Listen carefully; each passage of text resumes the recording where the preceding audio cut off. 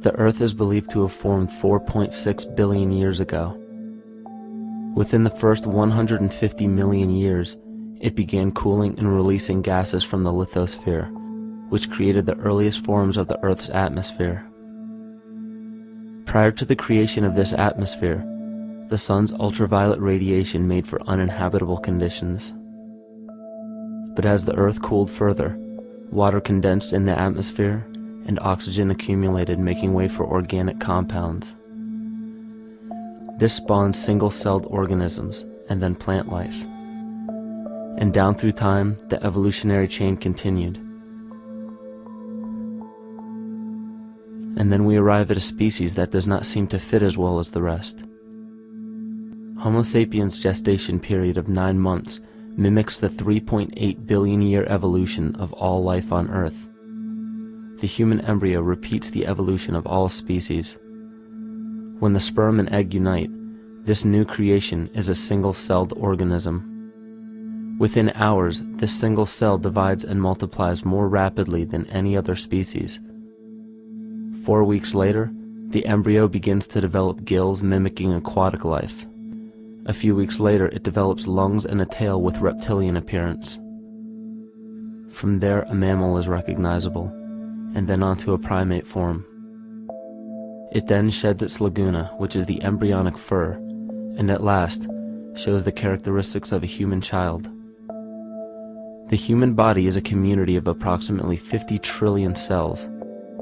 Everything the body does, the cell does as well. Cells have respiratory and excretory systems, they feed, feel, think, and communicate with other cells. Trillions of cells make up a single organism called the human body, and billions of human bodies help make up the organism we call Earth. The Earth has more similarities with the human anatomy than you may think. Earth has its own electromagnetic generation, just like the human body. Research has found that a direct current of electricity flows through perineural cells found around every nerve in the body. These pathways are called energy meridians and have been used in the practice of acupuncture for at least 2,000 years. Dating even farther back is the notion of dragon paths or ley lines in which many megalithic structures and stone monuments were erected, marking the energy meridians of the earth. These energy meridians are generated by the resonant frequencies of the Earth, called the Schumann waves. Each planetary body has its own resonant frequencies and is determined by the circumference and diameter as well as the speed of orbit and rotation. The Earth's resonant frequency starts at 7.83 Hz and ends with the seventh harmonic at 43.2 Hz, correlating with the seven chakras, Ultimately, the greatest discovery of our Earth is its consciousness. A visible attribute of consciousness is an energetic field that governs the shaping of organisms. Morphogenesis is a scientific term to explain this very shaping of tissues, organs, and entire organisms. Consciousness is the creative force of the entire universe. It has been given many names such as God, Yahweh, Krishna, nature, the field, and divinity. The entire universe is in fact a single living conscious organism with complete awareness of itself. The reason why it may seem difficult to comprehend this is because our understanding is typically limited by our language. When we hear the term conscious organism, we tend to anthropomorphize its definition. By giving it human qualities, we mistakenly look past what an organism truly is in the first place. The definition of an organism is any living thing capable of response to stimuli, reproduction, growth and development, and maintenance of homeostasis as a stable whole. Our universe does all of these things. The consciousness of our universe is responsible for the form and purpose that all matter assumes. The Earth's resonant frequencies are a result of its form. These frequencies are responsible for biological rhythms, such as menstrual and circadian cycles, as well as behavioral and emotional patterns. The frequencies are then picked up by the flora and fauna, which are biological instruments that respond to the wave patterns. The wave patterns resonate in the cranial structure of our head and converge in the center of our brain, which is where we find the pineal gland. The pineal gland is believed in many cultures to be the spiritual third eye responsible for intuition. Descartes called it the seat of the soul where mind and body meet. Each individual cell in our body receives an electromagnetic impulse from our central nervous system. They receive the very same impulse that was disseminated to every biological instrument from the earth. An explanation of our conscious universe has been attempted by religion, science, and philosophy. The neglect of biological nature from any organism causes illness. A divorce from nature, exile from Eden, confounding of tongues, they are all symptoms not of a biblical God or deity, but the true self. The greatest and only threat to ourselves is a loss of self, the death of our divinity. As we barrel through history with oceans of information, yet barely a drop of wisdom, we have to understand how we lost ourself.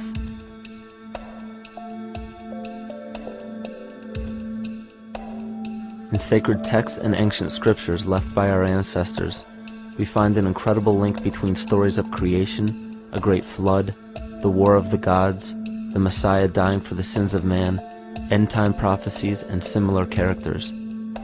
These correlations show up in myths from cultures that supposedly had no contact with one another due to distance in geography and time. The common thread we find that connects all of mythology has its roots in the stars.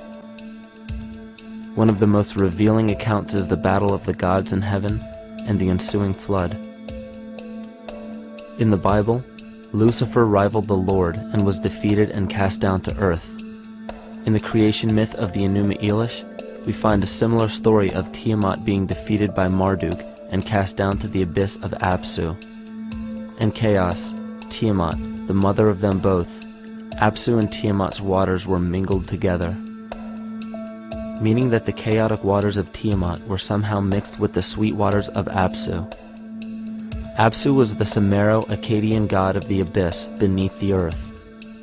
Tiamat, also known as Lucifer, was known as a serpent or dragon and was defeated by Marduk. Marduk was the father of Nebo or Mercury, and Mercury is the same mythological character as the Zoroastrian Mithra, the Egyptian Hermes Anubis, and the Gnostic Hermes Christos. The most recent version of Mercury, however, is the Archangel Michael in the Bible, who defeated Lucifer and sent him to the abyss of the earth, or hell.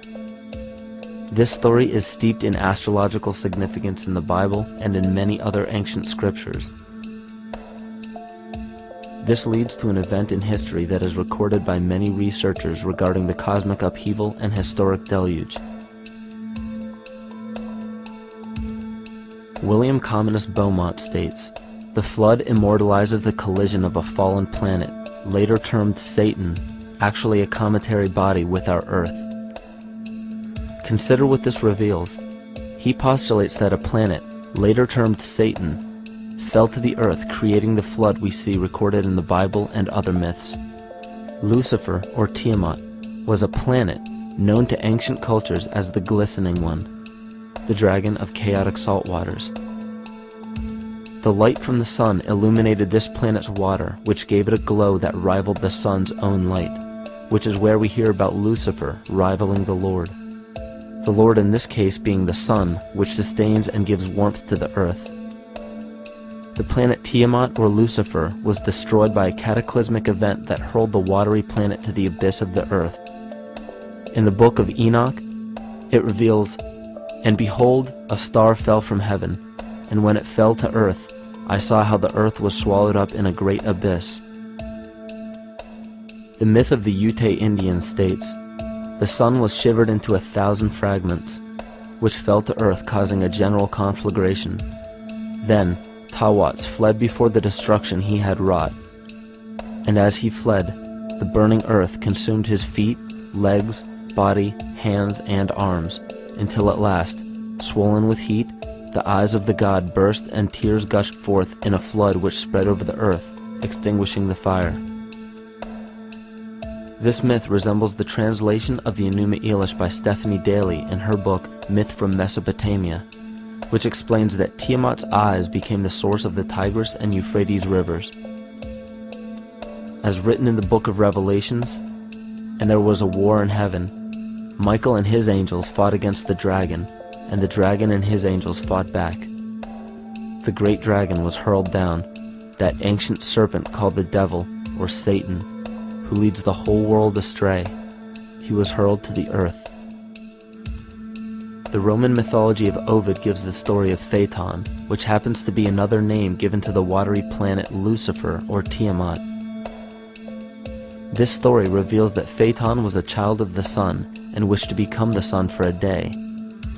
Phaeton attempted this feat and eventually, Jove, who is also known as Marduk, destroyed Phaeton sending him crashing to the earth in flames and put out by a tremendous flood of water from a river unseen before. The common theme we notice here is that of a saltwater planet, the great dragon, Lucifer, Tiamat, or Phaeton, was defeated and fell to the earth, and now dwells in the abyss known as Hell, giving us the outline of the story of Lucifer rising up against the Lord and being defeated and banished to rule the underworld. As we know, however, an outline is but a shell of a story. The inner meaning, the spirit of the myth comes with a deeper understanding of the essence of each planet, not just the physical planet, but the conscious core, because we know now that the proportions and velocity of a planet gives them their own characteristic frequencies which govern biological and behavioral patterns. These planets reflect the archetypal psychology of man. In ancient times, probably the most important field of research was the study of the heavens. Galactic bodies and their movement through the sky were known to be symbolic of the inner faculties within human consciousness. Within all organisms, Outdated science has only explained the physical world measured by our five senses. Only in esoteric religions, mysticism, and quantum fields of science are we to find any attempt at explaining where thoughts and emotions fit into the sense-perceptible world. We also understand now that humanity is a community of cells within the organism of the Earth. The Earth, therefore, is a higher organism that shapes our form and function. This higher organism and all other planetary bodies are governed by consciousness, just as we individual humans are. Therefore, the Newtonian belief that galactic bodies are nothing more than lifeless forms floating in space is tantamount to claiming that we humans are nothing more than a composite of elements in motion. We know that this is untrue because we feel, we think, and furthermore we see the result of our consciousness creating what we call life. Plato wrote, This world is indeed a living being, endowed with a soul and intelligence, a single visible living entity containing all other living entities, which by their nature are all related. Furthermore, the cosmos is a single living creature which contains all living creatures within it. And in an article out of the Sufi journal, the author writes, The world is a living spiritual being. This was understood by the ancient philosophers and the alchemists who referred to the spiritual essence of the world as the anima mundi, the soul of the world. In scriptures, we hear of the claim that angels guide the inner soulful actions of people, or that the gods wield influence over man. Most ancient spiritual and scientific teachings held the belief that the hierarchies of the gods, angels, archangels, archai, all the way down to the cherubim and the seraphim, are the hierarchies within the human psyche. In this way, we must understand that when the whole of ancient myths and sacred scriptures speak of spiritual influence from a higher being, they were speaking of archetypal forces that are inherent within us, not an influence from an external source. This is where we begin to see the relevance of astrology as an ancient form of science that resurfaced in the 19th and 20th centuries under the name of psychology. Friedrich Nietzsche even stated, as long as you still experience the stars as something above you, you still lack a viewpoint of knowledge. This is astropsychology and maps the inner faculties of the psyche. In pre-Christian times, there were schools known today as the mystery schools or the mystery religions. The messages encoded in the scriptures and ancient archaeology came from adepts of spiritual science. The intent was to teach the initiates the deeper meaning of these myths. What became later termed as Lucifer, Satan, or the devil was representative of the ego which rivals the Lord, the representative of the self. The true self is the epicenter of a person's entire being. It is the total sum of everything that we are. The false ego, on the other hand, is the idea and concept we create about ourselves in the course of our lives, which typically excludes any qualities we don't wish to accept about ourselves. However, humanity has been endowed with the freedom to choose either to obey the true self or to give in to the temptation of the vanity and materialism of the false ego. This is the most notable trait that separates man from animal our freedom of choice, the choice to follow our concepts and ideals or our natural impulses, the choice to sustain nature or to destroy it. This freedom of choice weighs on the fate of the entire organism that we call humanity. Cancer begins with a group of cells within a community that fail to communicate with the conscious signal of the organism. Those cells begin to grow out of control and spread to other areas of the organism. This very disease is evident in our world today. The cancer upon our earth is the domination of our false ego and our divorce from nature. Collectively, among every human, vanity leads to segregation and competition. Competition leads to fear and greed. Greed leads to deceit and immorality. And immorality is the breeding ground for illness, waging war on our earth. Every act of hatred and destructiveness in our world begins with self-hate and self-destructiveness. And that all begins with a breakdown in communication.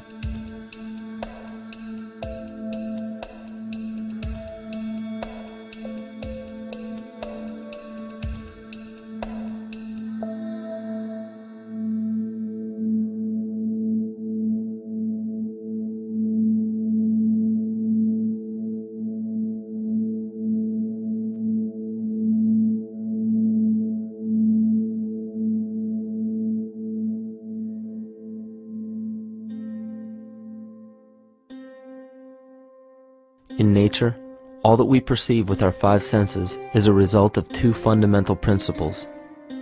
Everything in existence is made of a relationship between vibration and matter. Vibration is a masculine creative force countered by matter, which is a feminine receptive force. Thus begins the principle of duality. We see this duality in ancient myths and philosophies, yet only those philosophies and scriptures that were perverted and raped of the original meaning gave the impression that one polarity was good while the other was evil. The original sages, adepts, and shamans taught that both are necessary and one would not exist without the other. These two important principles come together to form all things in the universe. This is Kymatica. Even language, logos, the communication of any and all things in nature, depends upon this principle. Pete Peterson in his works Cymatics, The Science of the Future, stated that nature shows examples of kymatica in everything. This phenomena is found to be one of the prime forces that moves biological evolution along its path. Dan Winter reproduced an experiment to prove that the ancient languages of Hebrew and Sanskrit, when spoken, create a vibratory frequency that moved matter into sacred geometrical patterns. Upon further investigation, Hebrew, Sanskrit, Aramaic, Arabic, and other elder dialects have older roots in apparent language of Gaelic and quite possibly an even earlier origin. In Swami Murugesu's The Science of Mantra, he claimed that when a person chanted specific words in Sanskrit while filming a burning candle, the intensity as well as the color of the flame would change due to the frequency that the word would emit. This same science has been shown to lower and raise blood pressure. And in his own words, certain sounds can affect their circulation and nervous system. Whatever change such vibrations cause extends to the mind of a person and also to the surrounding atmosphere, causing warmth or coolness. All this can be known by study and shown by practice. This rediscovered knowledge of the science of sound shows that sound is something more than mere vibratory signals. Not only does sound interact with life, but it sustains and develops it. It acts as a conduit of conscious intent between people, societies, and entire civilizations. Yet the psychic illness we endure due to the domination of our false ego is reflected in the collective. Our psychological schism has shut us off from communicating correctly with our inner self, which is exactly how cancer cells within the body operate. In the collective, we have created a language barrier between humanity and the rest of nature, acting as a global cancer. Recorded in history, the efficacy of the ancient languages has been severely uprooted. The alphanumeric translation from Hebrew to English shows a complete reversal of the two languages, giving the cymatic effect unnatural results. Dr. Leonard Horowitz stated in his work on DNA, one third of the sensory motor cortex of the brain is devoted to the tongue, oral cavity, the lips, and speech. In other words, oral frequency emissions spoken or sung exert powerful control over life, vibrating genes that influence total well-being and even evolution of the species. A degradation of language in this case is shown to affect biology. If something as basic and important as language can be degraded and devalued to such a degree, yet never questioned, what else might we be missing? Think of an aspect of your life that dictates the limits of your freedom. Government and law enforcement, insurance and pharmaceutical companies, taxes, building permits, driver's licenses, and more. There are hundreds if not thousands of stipulations, regulations, and boundaries on our freedom. And out of the ones that were just mentioned, how many have you researched to find out whether they apply to you or not? Let's look at the forms of law that we currently acquiesce to.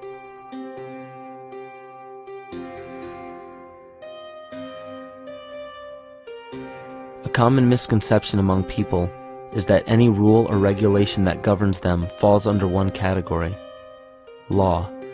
But there are many other forms of law that people abide by without realizing that they simply do not apply to them.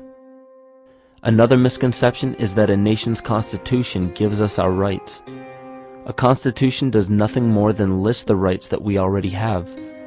We are born with inalienable rights, endowed to us by our Creator. They are not given to us and they cannot be given away. The most a person can do with a right is choose whether to exercise it or not. Maritime admiralty law is what's known as the law of the water. It is superseded by civil law and only applies to those who willingly contract themselves into it. The definition of admiralty law is a body of private international law governing the relationships between private entities which operate vessels on the oceans. Let's look at how and why a form of law that is fashioned to govern corporations, businesses, and vessels has imposed its rule over natural human beings. This is all done through a form of word magic. A simple perversion of language has made it possible to convince people around the world that these alternative laws apply to them. One of the predominant beliefs in modern culture is that licenses, permits, registrations, and other forms of documentation are required to operate motor vehicles, use public roads, build structures and establishments, engage in free enterprise, and much more. Sadly, these beliefs are based on little to no investigation whatsoever, and are false. This belief structure is perpetuated by maritime admiralty law. This form of law was originally created to govern ships docking in foreign nations for the import or export of products and resources. It deals with banking and merchant affairs, not civil affairs.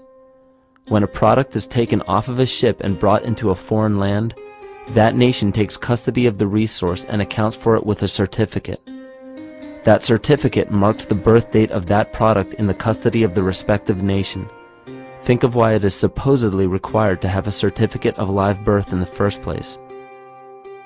The Barron's Dictionary of Banking Terms defines a certificate as a paper establishing an ownership claim. So right there, we notice that everyone with a birth certificate is defined as being owned. People are used as collateral with other nations because the U.S. is bankrupt.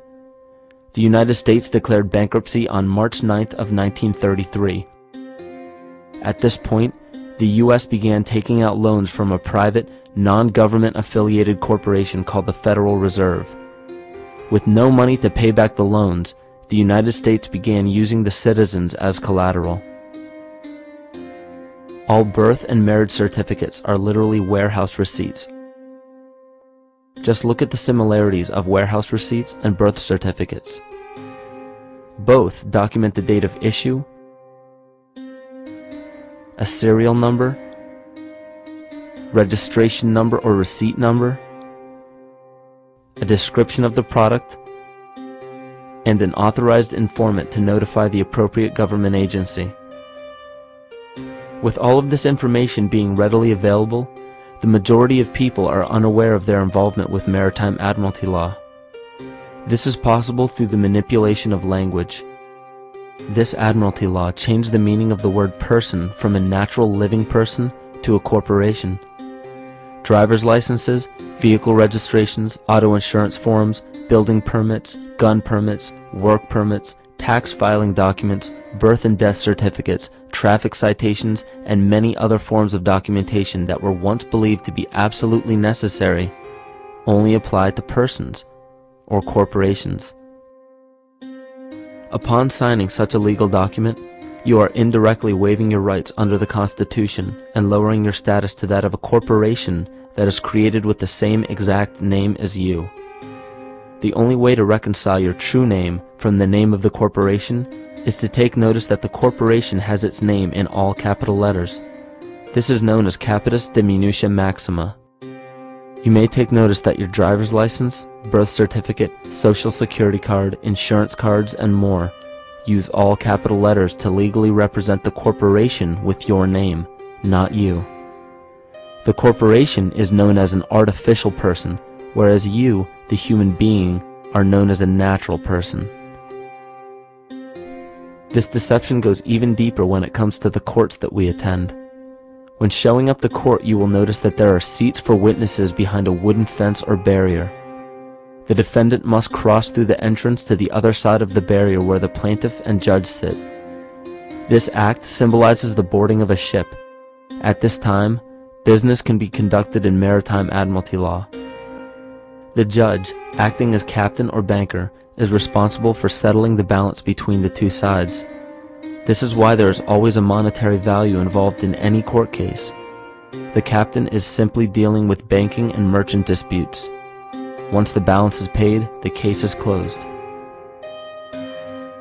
To turn the court case away from admiralty law where your rights are not protected, you must avoid agreeing to represent the artificial person. This is done by stating that you are the natural person. You don't have a first or last name because those imply corporate title. In a court case, you may state that the court takes judicial notice of your honor's oath of office. Every judge must take an oath of office to practice law. Yet you must make it clear to the court and the jury that the judge is acting as judge and not banker. Remember that you are a natural human being of the earth you are not governed by anything but your own consciousness. Laws are created within a society. The society that created the laws we see being enforced today is called the Law Society. Yet the most beautiful part of this entire deception is the fact that we are not part of the Law Society, so their laws do not apply to us.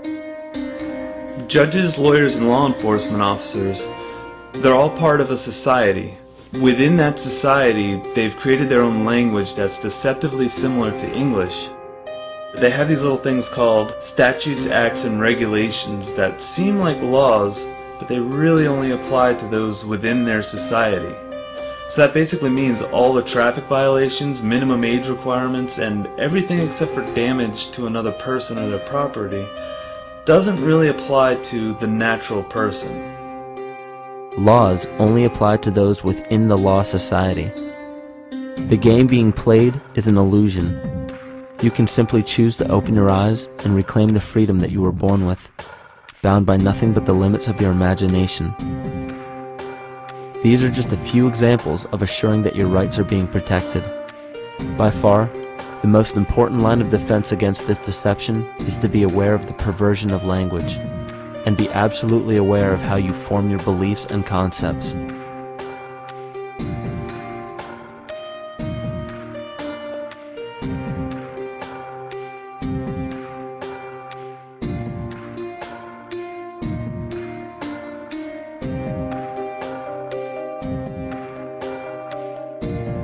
All forms of the perversion of language, there is a mirror reflection of this in the microcosm of the psyche.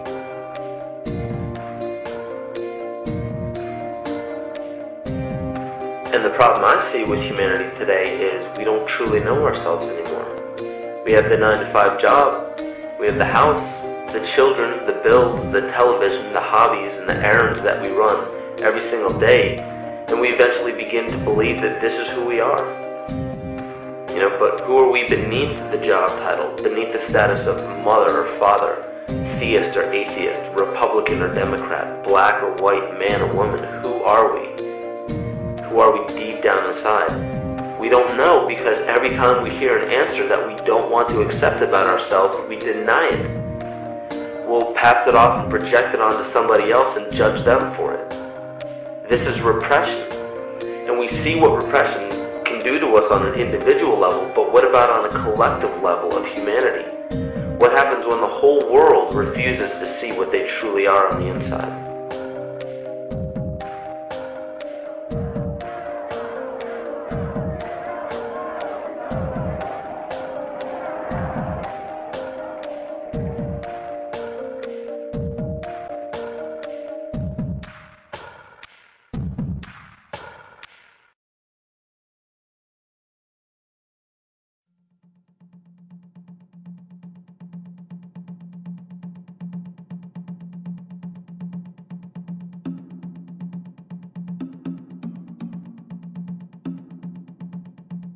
Carl Jung discovered that there is a collective unconscious connected to all humans, meaning that the whole of humanity shares a single mind with one another.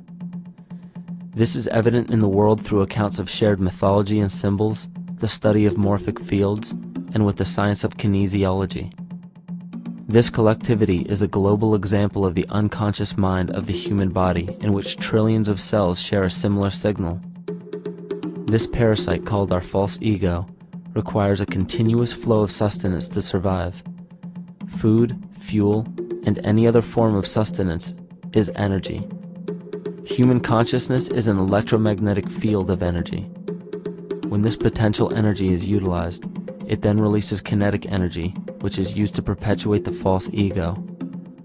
This scenario occurs in the smallest parasitic organisms, all the way to a collective organism called humanity. A parasite will release chemicals that cause the host to crave the sustenance that the parasite needs to survive. As long as the host is unaware, it will keep feeding the parasite and starving itself. In a similar way, Wilhelm Reich stated that whole societies suffer from a psychosis caused by starving our organic biological impulses. He states that sexual suppression supports the power of the church which has sunk very deep roots into the exploited masses by means of sexual anxiety and guilt. It engenders timidity towards authority and binds children to their parents. This results in adult subservience to state authority and to capitalistic exploitation. It paralyzes the intellectual critical powers of the oppressed masses because it consumes the greater part of biological energy. Finally, it paralyzes the resolute development of creative forces and renders impossible the achievement of all aspirations for human freedom. In this way, the prevailing economic system in which single individuals can easily rule entire masses becomes rooted in the psychic structures of the oppressed themselves. What Reich was showing in this powerful quote is that on a collective level, the suppression of a natural function, whether biological, spiritual, or emotional, will result in an abnormal reaction, a psychic disease. This illness or disease is reflected into the masses through a collective unconscious and acts as an epidemic. Humanity is plagued with an incapacity for freedom, meaning that people en masse lack the ability to govern themselves on a psychic level and this manifests in the macrocosm as government and organized religious powers, thus opening the throne, our national and individual throne, to anyone and anything.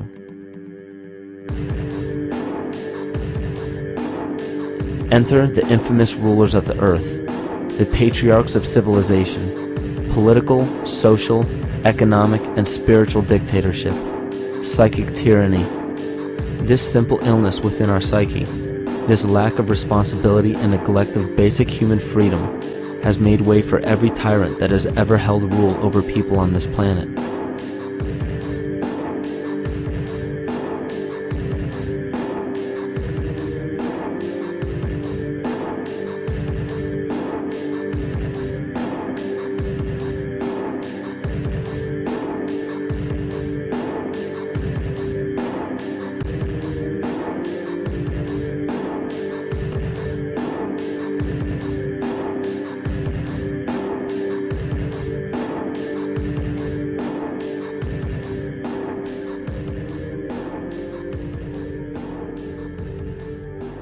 These oppressive tyrants that are demonized by the masses are no different than us.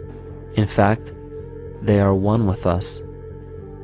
In the book The Prophet by Khalil Gibran, he poetically states, I say, as the holy and the righteous cannot rise beyond the highest which is in each of you, so the wicked and the weak cannot fall lower than the lowest which is in you also.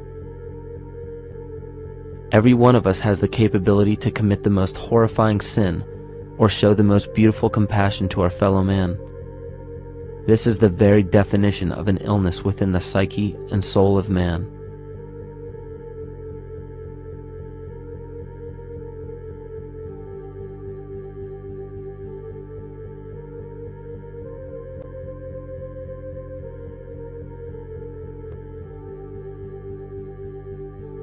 Think of any position of power that you believe to be above you. Royal families, government leaders, the United Nations, financial organizations, corporate monopolies, and media juggernauts. These are all facets of our false ego. They are the physical advent of our own sickness. They require our conscious participation, our conscious energy to survive. Because without our cooperation, without supplying them with the sustenance of complicity, they starve. Their very nature depends on our desire to be ruled. And a typical symptom of the illness among humanity today is our continuous denial of our illness. Repression. We consistently repress those qualities we choose not to accept about ourselves. This is why it is so difficult to see the false ego and its multiple manifestations for what they truly are.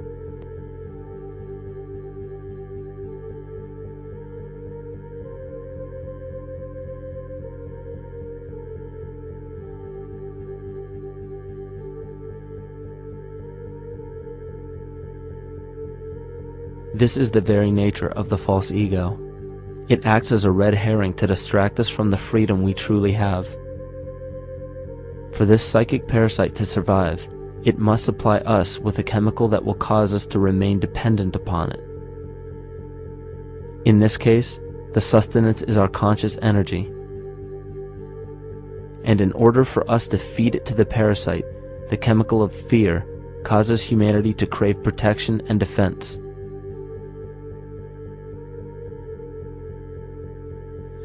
The functions of the body to survive can be broken down to two basic functions for any organism to survive. You have to be able to grow, maintain yourself, take care of your biology, but you also must be able to protect yourself so that if you're just growing and you can't protect yourself, you'll become food for something else. So the uh, survival involves a balance between growth and protection. Through the history of human civilization and through human evolution, we recognize that our nature is to be in a state of growth and that our protection is only supposed to be used to, you know, help us out of that, that threatening moment. You can't be in growth and in protection at the same time. So the significance is when we see a need of protection, the stress hormones in the body shut off the blood vessels in our viscera or gut, which is the part of the body for growth. Well, the issue is if you took the blood from the viscera and moved it out to the arms, then you left no blood in the viscera. That means no growth. But you're ready to fight. And when your fighting is finished, then the blood returns back to the viscera and you grow again. But in the world that we live in today, it's 24 7 fear.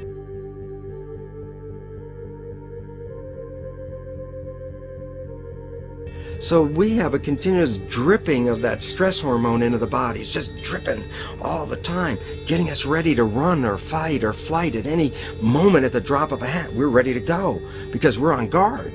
Well, the problem is, what does that mean about your allocation of energy? And it says, we're spending most of our energy in protection.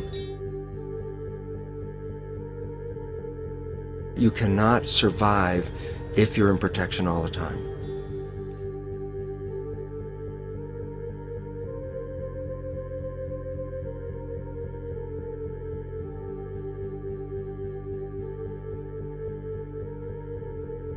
And if the parasite can control the nature of the fear, it can then create a fear among us that only it can defend us against. A recent physical manifestation of this comes from Zbigniew Brzezinski, former Secretary of State who also supported President Barack Obama. In his book, The Grand Chessboard, he states as America becomes an increasingly multicultural society, it may find it more difficult to fashion a consensus of foreign policy issues except in the circumstance of a truly massive and widely perceived direct external threat. Even the Reichsfuhrer of the Nazi Party, Hermann Göring, sums up this game of supply and demand perfectly when he stated, The people can always be brought to the bidding of the leaders. That is easy. All you have to do is tell them they are being attacked and denounce the peacemakers for lack of patriotism and exposing the country to danger. It works the same in any country. It also works the same in every individual psyche. Just remember that the false ego has only one desire to become greater and more powerful than the true self. This illness causes us to believe that we are separate from nature. This is why we see such a rise in the dependency of technology. This is why we see such little stewardship for the earth and the environment. And this is why we see bigotry, racism, sexism, and every other form of discrimination possible that leads to crime, violence, wars, and eventually, the global destruction of the organism. This endless state of fear, confusion, and segregation our world seems to live in is a symptom of the false ego creating a false threat.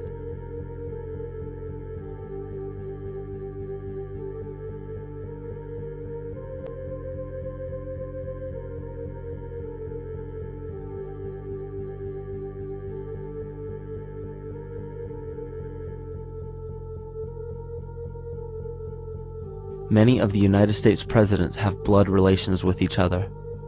The Bush lineage has blood ties to a great number of former presidents. George Washington, Millard Fillmore, Franklin Pierce, Abraham Lincoln, Ulysses Grant, Rutherford Hayes, James Garfield, Grover Cleveland, Teddy Roosevelt, William Taft, Calvin Coolidge, Herbert Hoover, Franklin Roosevelt, Richard Nixon, and Gerald Ford. Michael Tsarion points out in his work that Bush is closely related to every European monarch on and off the throne, and has kinship with every member of Britain's royal family. Bush's family tree can be documented as far back as the early 15th century. He has a direct descent from Henry III and from Henry VIII's sister Mary Tudor. He is also descended from Charles II of England and we also find that George W. Bush is a direct descendant of Godfrey de Bouillon. Godfrey was the first king of Jerusalem after he recaptured it from the Saracens, which was the name for the Islamic faith during the Middle Ages. It is interesting to note that the current occupation of the United States in the Middle East was re-established by the same family, George Bush Sr. in 1991 and again by George Bush Jr. in 2003. George Bush Jr. is then found to be a cousin to both opposing candidates of his two terms in office, Al Gore and John Kerry. Democratic President Barack Obama also has blood ties with George W. Bush, as well as Gerald Ford, Lyndon Johnson, Harry Truman, James Madison, and the British Prime Minister Sir Winston Churchill. On the opposing side of the 2008 presidential ballot, John McCain is descended from Robert the Bruce, King William I of Scotland, and also Godefroy de Bouillon. One probably one of the most interesting facets of the bloodline relations is the fact that the whole British royal family has descent from the Muslim prophet Muhammad through the Arab kings of Seville. This bloodline was passed through the kings of Portugal, Castile, and eventually down to King Edward IV. This is a very, very different story from what yeah, you hear the media pumping out every day, being this idea of lineal superiority. It's completely debunked according to the foremost authority of aristocratic lineage, Burke's Peerage. And this just goes to show that there's the true story, and then there's the manufactured illusion, the front that's given to the public.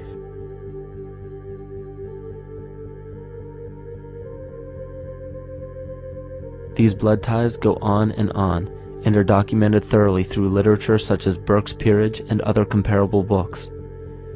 The point of all of this is that we find not just the same people, but the same intent within the people who have held high positions of monarchy, dynasty, aristocracy, and democracy in the past and present, and they are all related by a physical and symbolic link. This bloodline carries the symbol of our illness,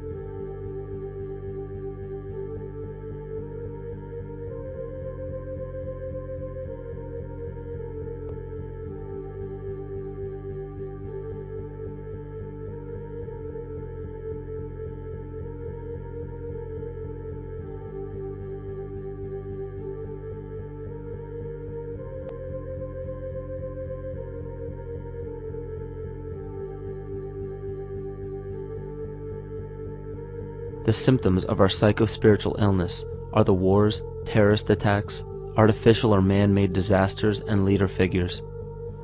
As long as the people remain oblivious to their inner drives and inner nature, they will always fail to recognize why these events take place and why these figures rise to such powerful positions. The reason why we have failed for thousands of years to conquer these archetypal rulers permanently is because for thousands of years we have been fighting the symptoms of an illness and not the root cause. For every corrupt government that falls at the hands of a revolutionary, oppressed people, two more will rise in its place every time. Because the root cause of a corrupt government does not exist in the individual leading that government. It exists within the psyche of every individual because an unaware host to a deadly parasite will do anything to avoid accepting his own incapacity for freedom.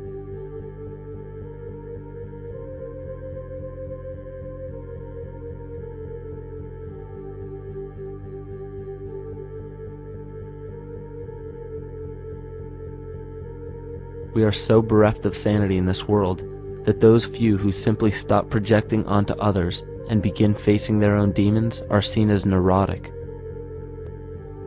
An article written in the 1950s states that studies showed that individuals who had been isolated from their familiar social and cultural environment became neurotic.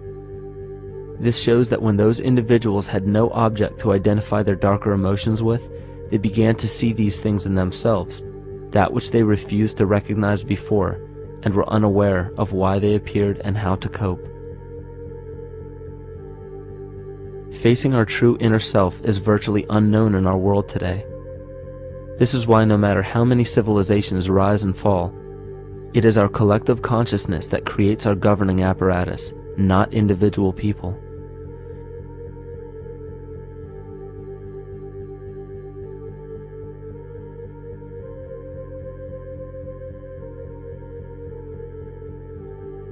And after countless attempts, you would imagine that people would realize that a physical retaliation may not be the solution. Yet here we are, thousands of years later with technology that can clone DNA, vehicles that can break the sound barrier and probe the depths of space, and science that can overcome almost any sickness. Yet we still fail to take notice to the importance of thoughts and consciousness.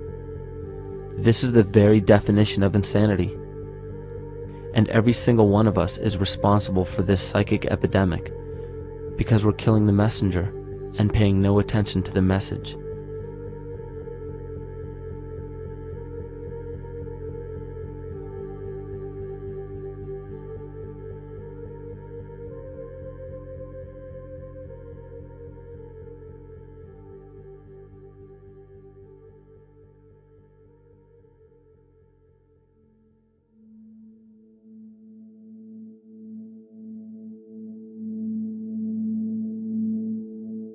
During the 1990s, three Nobel laureates in medicine advanced research that revealed the primary function of DNA lies not in protein synthesis as widely believed for the past century, but in electromagnetic energy reception and transmission. Less than 3% of DNA's function involves protein manufacture. More than 90% functions in the realm of bioacoustic and bioelectric signaling. So why is it important to know that DNA functions in bioelectric signaling? HeartMath Institute has discovered the heart and brain maintain a continuous two-way dialogue, each influencing the other's functioning. Although it is not well known, the heart sends far more information to the brain than the brain sends to the heart, and the signals the heart sends to the brain can influence perception, emotional processing, and higher cognitive functions.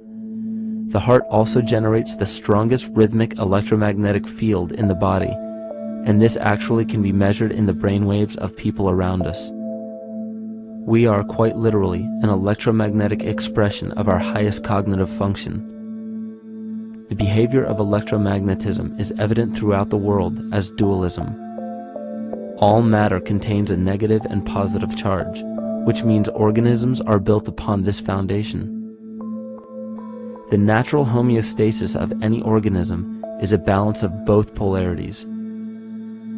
Furthermore, research on emotional energetics shows that the heart's field is a carrier of emotional information and a mediator of bioelectromagnetic communication within and outside the body. Research shows our heart's field changes distinctly as we experience different emotions.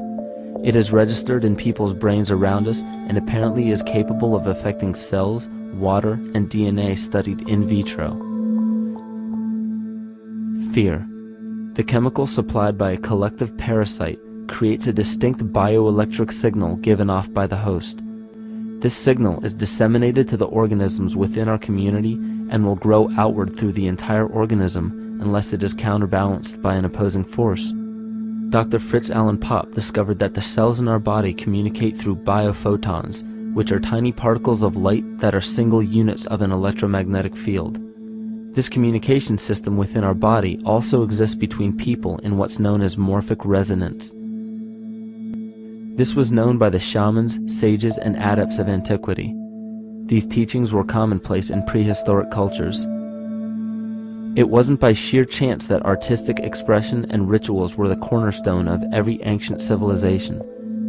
Art was used as a personal method to exercise the shadow content of the psyche and introduce it to the conscious mind. This was very literally viewed as psychic therapy. Ritual was based around astrological dates. As we've learned, the study of the stars and planets reflect our own astropsychology. The shamans would perform rituals on astrological dates that would correlate with a circadian rhythm or a psychological cycle. These rituals kept the human participants aware of their inner self and prevented the repression of psychological content. As long as people were facing their inner demons and accepting them as their own, they were not collectively projecting them into the physical world. If you bring forth what is within you, what you bring forth will save you. If you do not bring forth what is within you, what you do not bring forth will destroy you. The progeny of our psychological disease began growing rapidly after a series of catastrophes forced the collective into a somatic state of fight or flight.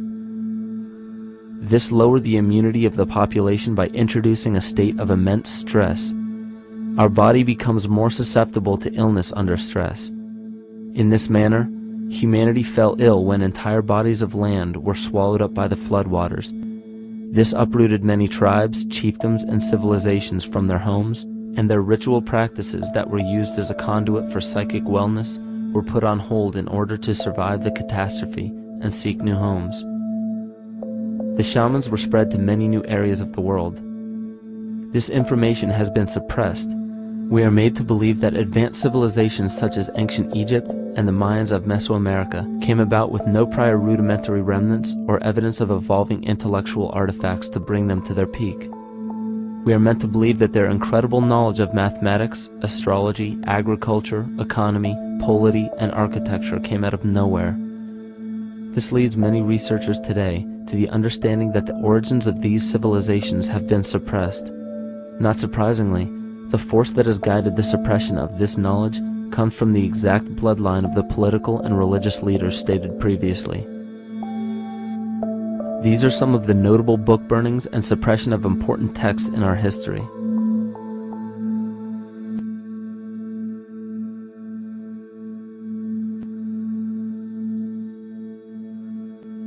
Yet after all of this suppression, there are still remnants of the dispersion of elder civilizations in nearly every country. There is tremendous evidence of ancient cultures visiting North America long before the conventional belief of European colonization. Barry Fell states in his book America BC there are ancient inscriptions now being reported from nearly all parts of the United States, Canada, and Latin America written in various European and Mediterranean languages in alphabets that date from 2,500 years ago. William Comyns Beaumont wrote, The Toltec and Maya civilizations never originated on American soil, but appeared there full-blown, with a well-defined art and system of hieroglyphic writing which possesses affinities with Egyptian. It is found that there are thousands of prehistoric sites across New England and several other northern states showing inscriptions, carvings, and mounds created by Druidic mariners as far back as 800 BC. To suppress this information further, it was not only imperative for the bloodline to burn the documented texts containing true historical information, but to wipe out the cultures that derived from these ancient shamans. The most devastating genocide ever endured was and still is the annihilation of shamanic tribes. We've lost our traditional roots and don't know about ritual. The dragon dances and the ghost dances of the Native American Indians, what do you think that was all about? All the shamans of the world, when they do their rituals, they're doing that. Their work, harmonically through dances, is to strengthen the immune system of the earth. You know, but they've been all murdered. So that was why in the 17th century, exactly the same period I'm talking about, there was an all-out agenda that when you come across indigenous people, you annihilate them. Columbus was sent on his expedition along with agents of the crown to disrupt the lives of the natives and seize mineral resources. He visited every island in the Caribbean, depleting the gold and taking as many slaves of the native Taino tribe as possible. Five million natives were murdered within three years, according to Leah Trabic. Within 15 years, the Arawak tribe of 250,000 was completely wiped out. The population of the United States prior to European contact was greater than 12 million, Four centuries later, the count was reduced by 95% to 237,000. From 1494 to 1508, over 3 million people had perished from war, slavery, and the mines. Who in future generations will believe this? I myself writing this as a knowledgeable eyewitness can hardly believe it. My eyes have seen these acts so foreign to human nature, and now I tremble as I write. Another agent of the false ego bloodline was Hernando Cortez, who decimated the Aztec tribe and plundered their mineral resources. This again was the case through Cortez's second cousin, Francisco Pizarro, who conquered the Incan Empire in Peru. These atrocities are seen throughout Africa, New Zealand, New Guinea, East Timor, and are still seen today in Canada. This was a deliberate attempt to bury any surviving remnants of the ancient world and our true history. It is a naive mistake, however, to categorize and blame everything and everyone involved with politics or religion for this suppression of knowledge. It is only natural for people to crave spiritual understanding when there are so many manufactured missing links and perversions in the spiritual text today. And due to this void of spiritual wisdom, honest and moral people who are simply trying to understand their place in this world become the prime consumer market for those who wish to exploit this vulnerability the ego is something that is um, it's insecure it's something that is in need of of control. The ego actually is an inferior thing but it's trying to act like it is something that is superior. Uh, hence this schism occurs between the ego and between the unconscious or, or the self. There's a kind of a messiah complex at work here as well i feel that that we project uh, the savior type ideal on someone and we and we expect them to save us and we're not willing ourselves to kind of deal with this and get to the root of why we perhaps feel insecure or why we feel we we, we don't have enough power to, to run our own lives, basically. If we look at the New Age movement, for instance, which, which is another kind of trap in all of this, uh, where people might end up actually. They, they're looking for something so bad that they, they're, they're taking all these things that are handed to us or to, to them. Uh, but it's not really based on any real understanding. It's still kind of coming from a religious type of perspective. People are genuinely seeking something new. They're genuinely seeking a new type of, of uh, spirituality or to better themselves or to change something. But this is being hijacked. And what they actually do is that they lead you into another type of uh, you know, group mentality or new age religion, whatever it is. And, and people still are not able to kind of really break free from that and follow their own uh, journey or their own path, uh, which I think is very important in all of this.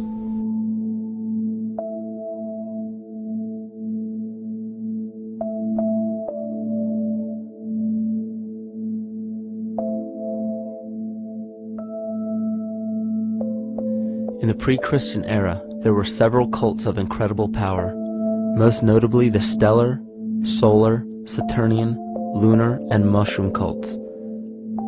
It is simple to see that worshippers of the lunar goddess comprised of the lunar cult. The worship of sun gods were indicative of the solar cults. The Saturnian cult, which consisted of Phoenicians and Canaanites, worshipped El or Eli. The biblical exodus of the Hebrews from Egypt showed that they entered Canaan and merged the lunar cult of Isis, the solar cult of Ra, and the Saturnian cult of El to form Isis, Ra, El. Israel. The old Israelitish cult and mythology, the Yahweh worship, the patriarchal legends, the sojourn in Egypt, and so on, are rooted in the religion of the sacred fungus developed from the underlying fertility philosophy of the ancient Near East. The Jewish mitre, Muslim turbans, and military berets are derivations of the symbol of the mushroom cult. One of the first and most prominent, however, was the stellar cult, and a number of these ancient cults were created for shamanic purposes and earthly stewardship, yet some were taken over with different intentions.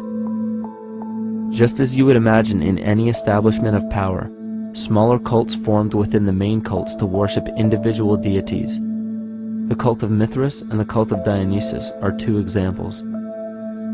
You still today can see the Mithraic or Phrygian cap on the symbol of the seated Liberty dollar, the coat of arms of many countries, the reverse side of the flag of Paraguay, the seal of the United States Senate, and even involved in the solar cult holiday that we now call Christmas. In the cult of Dionysus, many festivals were celebrated such as the Greater Dionysia, celebrated in Athens around the spring equinox, the foremost event in this festival was the Thymelic contest in which poets, musicians, and entertainers performed in an open-air theater.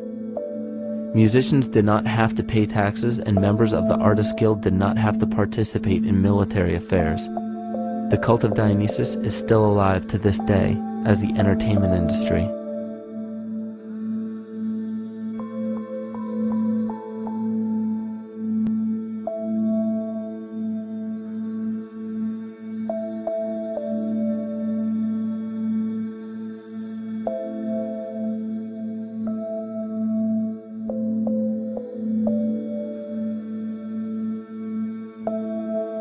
These cults still exist in many important positions of power throughout the entire civilized world. Yet the most important function of these groups is to manufacture the consent and complicity of the people. The conscious mind is the creative mind. It's the one that has your personal identity into it. It does the, the, the real thinking. And then there's a subconscious mind. Well, there's no entity in it. The subconscious mind is equivalent of a tape player. It records behaviors, and then at the push of a button plays a behavior. It's automatic. It's a very convenient thing because then we don't have to relearn all the time. Once you know it, you can make a pattern. The problem is that the basic patterns of belief and behavior that are programmed in the subconscious mind came from our teachers, primarily our parents, our family, and our community. So most people don't even understand how easily we're influenced by our environment. Every person that we encounter, every single situation that we're faced with, every little word that's said on television may not seem too influential to our to our conscious minds, but Your unconscious is designed specifically to let every environmental signal influence you without your awareness. So the question is, are we leading conscious or unconscious lives? And now neuroscience has told us in the unfolding of our lives, only 5% of our life is controlled by our conscious mind, and 95% of the time controlled by the subconscious eh, with programs from other people that were installed in there. And the problem is, it means when those programs are playing, we don't see them. And the skeptics will sit there and say, consciousness, archetypes, astrology? No, no, no. We, we create things with our hands, not our minds. Archetypes aren't physical. They can't influence me. But when you think of the fact that we're only conscious of this small little fraction of our behavior, what we don't realize is that entire countries, entire civilizations that think they're free and independent but are unconsciously too afraid to be free and independent, they will beg to be governed. And if they can't do it themselves, who do you think will consciously or unconsciously take that responsibility? It usually ends up being that strong, masculine, animus archetypal figure. When we think we're in danger, we're not looking for our mother to nurture us. We want our father to protect us. And right on cue with the age of fear, this age of catastrophe, the age of this parasite, we see masculine domination. One of the primary conduits for giving our responsibility and our conscious energy away is money. We surely don't want to admit that our dependency on money is flawed, because that would imply that the fault is our own, and God forbid we take responsibility for our lives. So we blame the money. This is the cornerstone of the entire illusion being built around us by the false ego. Money is said to be the root of all evil, yet it cannot be evil because money is only a symbol. Symbols carry only the faith and spirit of the observer. This means that the symbol of paper money evokes and surfaces the evil intentions and inherent flaw of our false ego. Money only exists because we agree to accept it as valuable. And to further illustrate our incapacity for freedom, we've given the control of our faith-based money to a private corporation instead of the federal government. There is no law stating that we have to use Federal Reserve notes as currency. We choose to because we fear the alternative independence.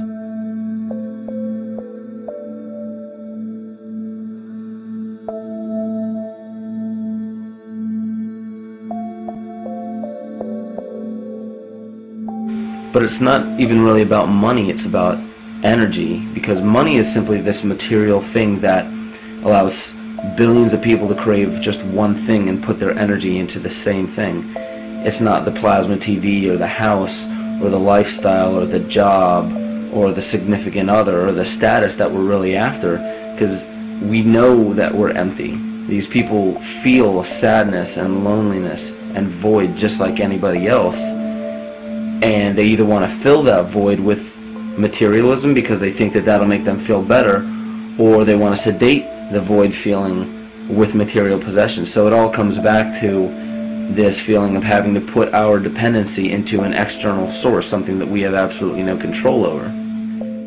What we're seeing right now is with all the competition of each other destroying each other, wars, competing for material existence, raping the planet and tearing it apart to get some pieces of it to hold in your hands and say you won the game. Every one of those moves is destructive not just of the planet but of human civilization because human civilization will thrive with cooperation and will die with competition. And if you operate from these truths, then you end up with the extinction that lies before us.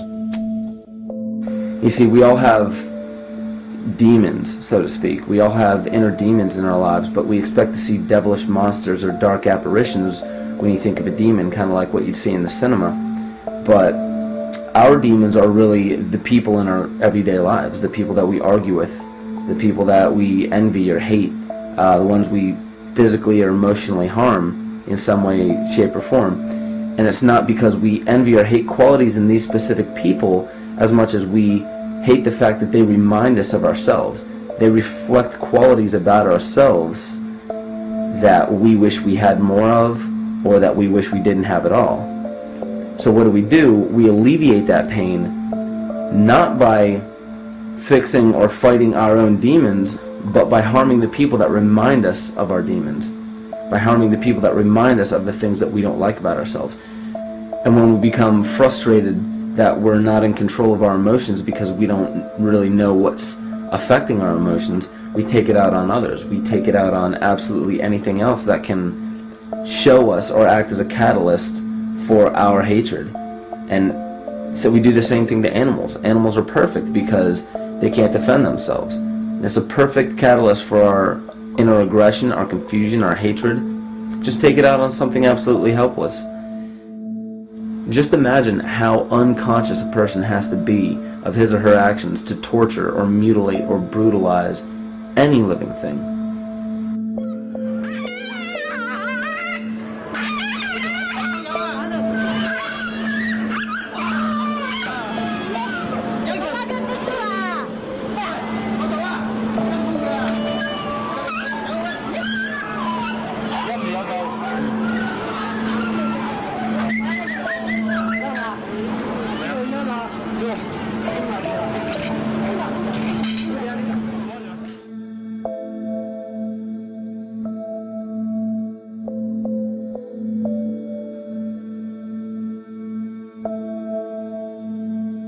Goat's down and, and he'll be here and we can, ouch, come Ooh, hmm, he bit you. Look at his tail. Is it Conan with the kids maybe? He's a big guy. That's, um, that's a real... Think of the lack of compassion you must have towards life in general to be able to feel no semblance of sympathy towards entire populations, let alone just individuals or individual animals, entire populations of species that are bred specifically for the purpose of commodity. But I'll tell you what's even more dangerous is not so much the people carrying out this cruelty, because that's already been established. That form of hatred and cruelty has already been established and it's already known. What I'm really worried about is the people who are against inhumanity, the people who are against animal cruelty and feel self-righteous enough to think that it's justified to inflict harm or even wish harm on these people. Because those are the people who take unconscious cruel behavior to a whole new level of conscious cruel behavior that's perfectly acceptable in their minds because they feel that it's their job to bring other people to justice like they're an authority figure of some sort. Those are the people who will have a much harder time figuring out why they harbor so much inner hatred and resentment. They don't seem to realize that it's just another form of the same exact hatred. So to keep from facing our inner demons consistently, what do we do? When we begin to realize, hey, wait a minute, maybe it's not alright to inflict harm on any other living thing, then the ego has to come up with a more esoteric form of cruelty to trick us into displaying the same form of self-hatred, the same indignant attitude, but just in another way and towards another group of people. But the emptiness will always find a way back in, and people will always start to feel restless again, no matter how many times they transfer blame to yet another person or yet another group. We need chaos in our lives. We crave destruction. We beg for catastrophe. Because if we don't have these things to act as a form of exorcism or a catalyst for us, we start to notice these things in ourselves, and that's what we don't want. You see, we can deal with wars. We can deal with terrorism. We can deal with stock market collapse and economic collapse. We can deal with these things. But once we start to notice this chaos within ourselves, that's what we're really afraid of. We'll take a million September 11ths over one moment of true insight towards our self-hate.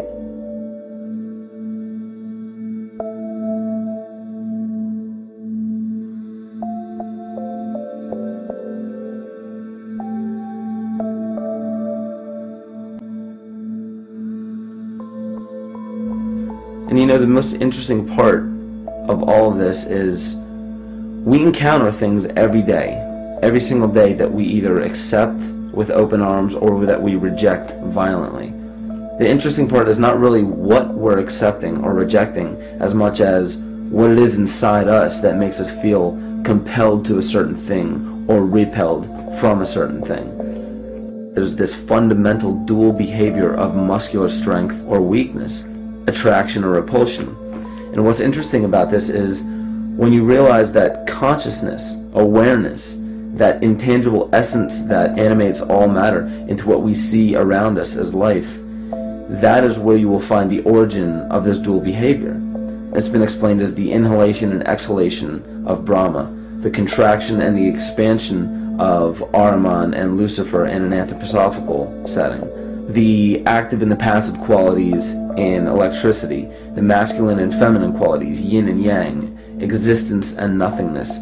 These are all ways to explain the same behavioral process that begins with awareness, it begins with consciousness. And if you get rid of all the images and concepts in our minds of these sayings in your head and just try to feel the difference between the two polarities, you'll begin to notice that all of the different scenarios and possibilities that are playing out in the world all spawn from this common origin. You'll have a million people telling you why the Bible is supposedly the Word of God and that you should follow it word for word. And then you'll have another million claiming that it's a form of mind control and not to believe any of it. Everybody will tell you to beware of this or watch out for that. This is good information, this is bad information. And I just have to wonder what makes anyone an authority figure enough to say that something is true or false? And why are you denying or accepting anything based on the suggestion of another person?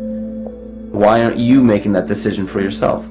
Information is information. There's no such thing as good or bad information. It's all what you do with it. I say let everything be your Bible give every piece of information, every person, every event or scenario or situation an honest and open mind. Because then it's your responsibility to respond to it in the way that you choose. Not following the herd, not following convention, it's your responsibility. And that's the point when, no matter how many people tell you you're wrong or right, you're not dependent upon their approval if we at least question our own actions, question our own thought process, and make a conscious decision to what we feel is right every single day, that's what I believe to be divinity. That's true shamanism. And that, to me, is what it really feels like to be alive.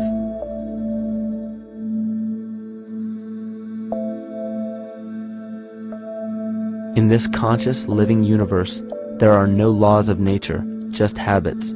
There is nothing external to the universe to enforce a law upon it. The illusion of a fixed law of nature is only the result of there being no need for that habit to be broken. When habits need to be broken to ensure the survival of the organism, we see this event in nature and call it evolution. The collective mind shapes our evolution. And a great example of this is the experiment done by John Cairns in 1988. His team put lactose intolerant cells in an environment with only lactose for food. Under a law of nature, every one of these lactose intolerant cells would have died. But surprisingly, they all survived. Every one of them understood the problem that they were facing and replaced the defective lactase enzyme with a functioning one to utilize lactose for food. If a cell has the ability to decide how and when to evolve because it's facing extinction, then anything can. The existing beliefs are that a human body is a biochemical machine controlled by genes, and therefore the behavior, emotions, and character of our biology, our health, our lives are controlled by genes which we don't control. So this is what we taught people. You're a victim. Genes control your life. You didn't pick them. You can't change them. The genes you end up with program what's going to happen. My experiments on stem cells, which I started in 1967, I'd isolate one stem cell, put it in a petri dish, and then it would divide every 10 hours. So I took all the cells, split them up into three groups, and then just put them in three petri dishes. And then I changed the growth medium, the constituents of the environment, in each of the three dishes. In one dish, the cells form bone. The second dish, they form muscle. In a third dish, they form fat cells. What controlled the fate of a cell? And the first thing you have to say is, well, wait, they were all genetically identical when they were put in a dish. So obviously the genes didn't control it because they all had the same genes. What was different was the environment. And all of a sudden in my career, it said, oh my gosh, here I am teaching genes control life, and the cells are telling me genes respond to life. And since you can control the response, you can control your life.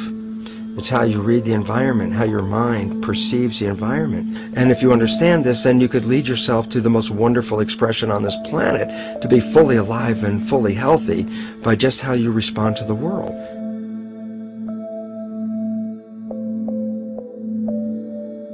In the face of financial collapse across the world, political and religious wars raging tirelessly, and an ever growing feeling of being lost and void of meaning, there is a great amount of energy being pushed to the surface of the collective mind. Evolution does not come about gradually. It happens in spurts and fits, and comes about due to a tremendous need for the organism to survive. We are now at a point in history where we will choose.